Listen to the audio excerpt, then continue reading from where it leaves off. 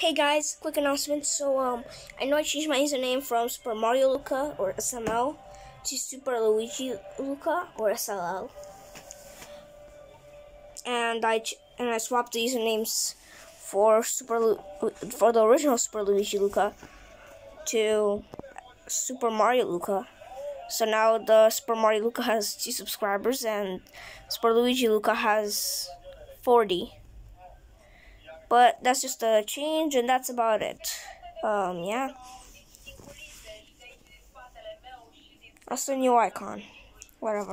Um, yeah. I'm still gonna be uploading. There's nothing else gonna happen. It's just a name and and um some a few changes. That's it. But yeah, bye. My fingers smell like a ball sack. Smell them.